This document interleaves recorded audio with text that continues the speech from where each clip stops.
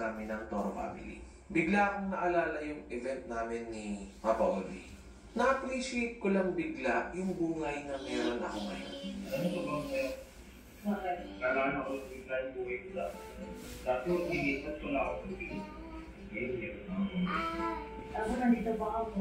Kasi ako mo mga ano, eh, alam mo yung kung dati, hindi ko ako Pero ginagawa ko. Dahil nagawa ko, eh, Kasi ito ang marami yung buhay ko. Ito may time ako, may time sa buhay na pero okay pa. Hindi na kayo, kaya nag-i-enjoy na lang ako. Kaya pinas.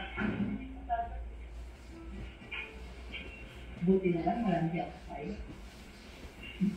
Tumawag si Ate Payet, nagpaalam po siya kung pwede po siya mag-half day kasi nga po, meron po magaganap na basketball game.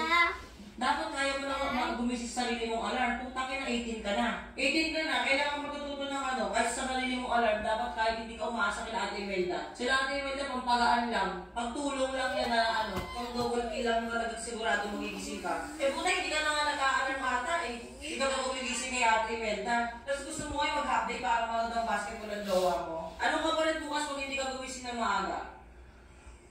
Hindi, wag na lang po. Ha? Okay, diwag. Mabilis akong kausap dahil responsable siya.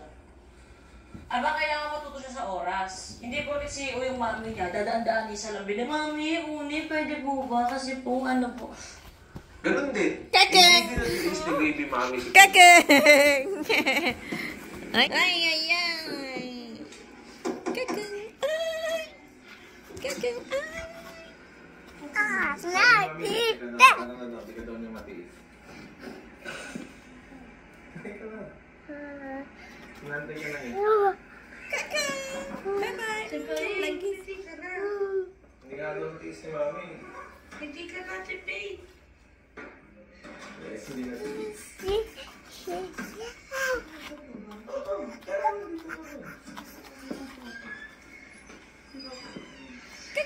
Natin pay. Ang bait ni Mami, sinundo na nga sila kasi umangat pa rin si Ate Payet. Kakeng! Sige, payag ka na. Wa, eh na si Pay. Hindi nga bumati, basta siya.